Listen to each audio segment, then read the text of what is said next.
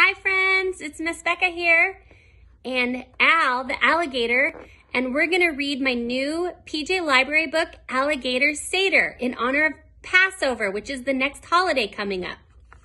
Are you ready, Al?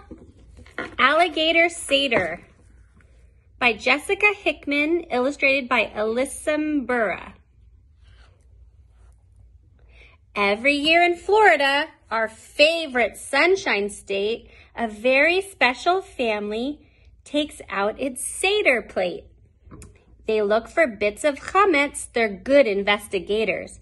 They're really just like you and me, except they're alligators.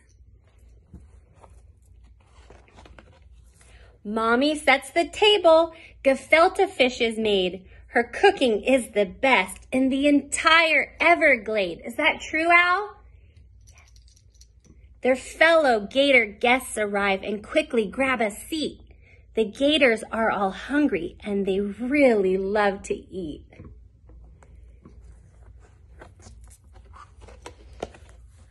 Mama lights the candle. Papa blesses wine. The Seder is beginning, so the gators all recline. It's time for the four questions asked by Baby Gator. Why is this night different from all other nights?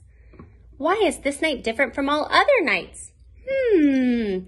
Then comes the Passover story, as at every family Seder. Gators love their matzah. They plan to eat a bunch. Their many extra teeth more make for an even louder crunch. The meal is being served now and the gators start to chomp. The delicious smells of dinner go drifting through the swamp. Where is the afikoman? It could be anywhere. One gator quickly finds it and brings it back to share.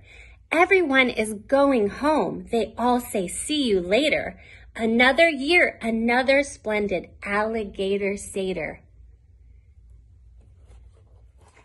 I promised Al if he listened to the story, alligator Seder, he could have some matzah after. Should we feed him some matzah? Okay, Al.